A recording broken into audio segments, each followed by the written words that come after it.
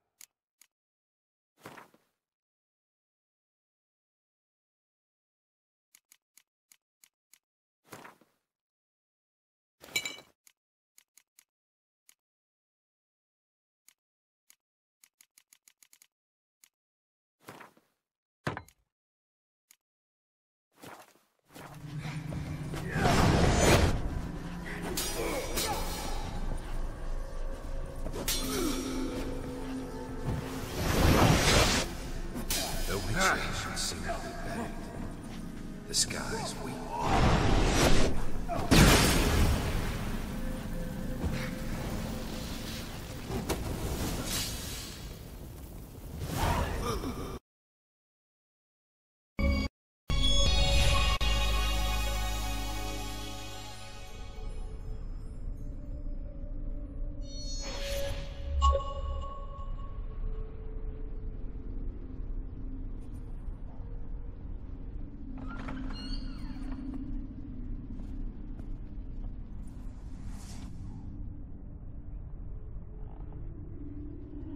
not him.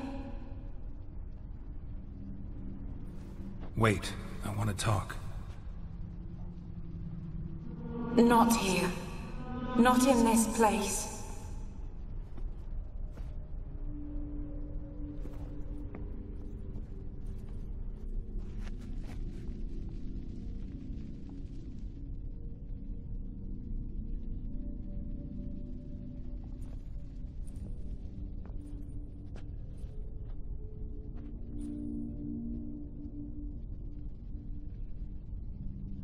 I'm sorry. I mistook you for another. For Olgierd? I thought he'd returned. To me. What are you? A ghost? An illusion? I am sadness.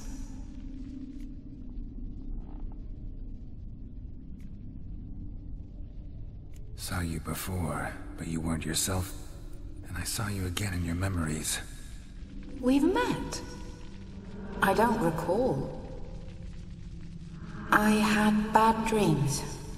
That is all I know.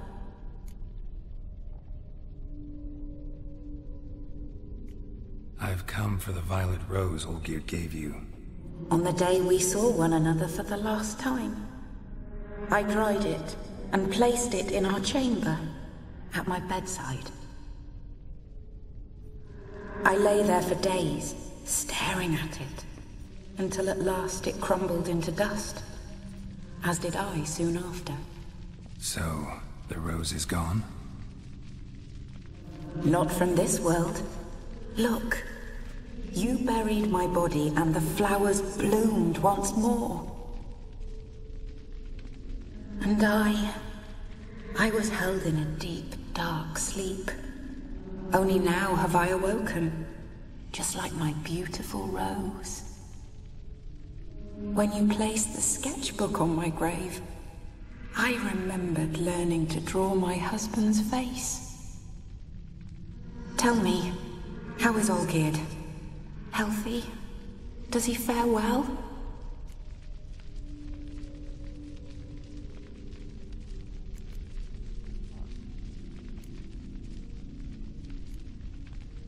Husband's got a powerful enemy. Gaunter O'Dim. Know the name? I cursed the day I first heard it. Who is he, and how'd he step into your lives? It's my fault. It was for me Olgierd summoned the Man of Glass. And it was my fault he wished for riches, then immortality for us both. Olgierd will best O'Dim, won't he? Now tell me, how is my husband?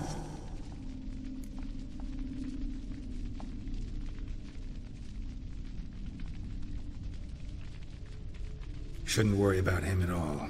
He's no longer the man you loved. So his heart remains hardened. And did... Did Olgierd mention me? What did he say? Not much, but I didn't ask about you. He just sent me to retrieve the rose. The rose? The last I have left of him? His last gift?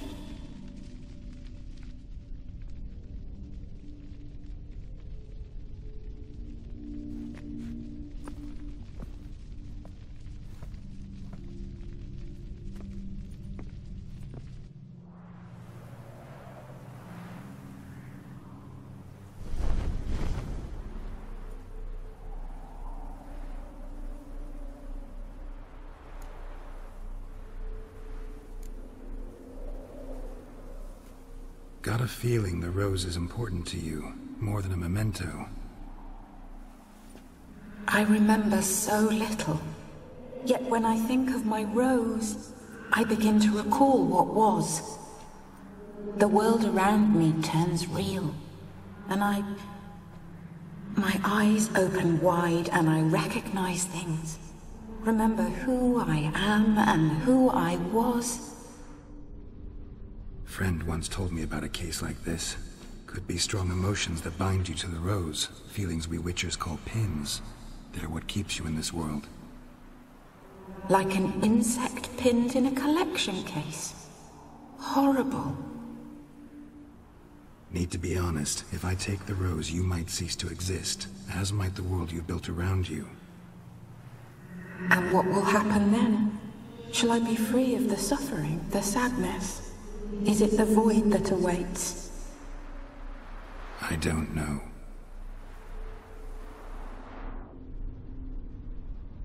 I don't wish to suffer any longer, but I fear there will be cold and darkness until there is nothing at all.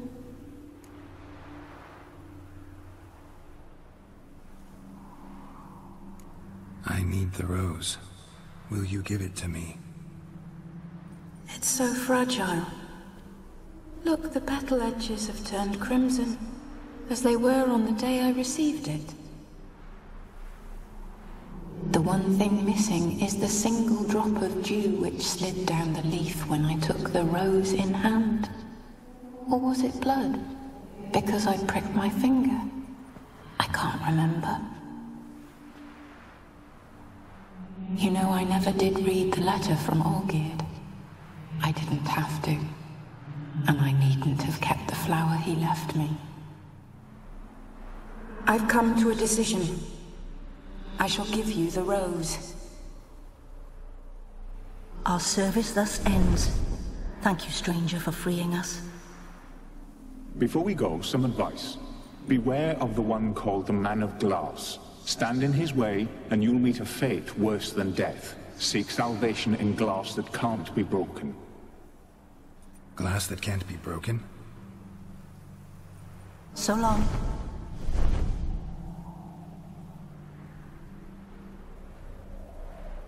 I'll remember you, Iris von Everec.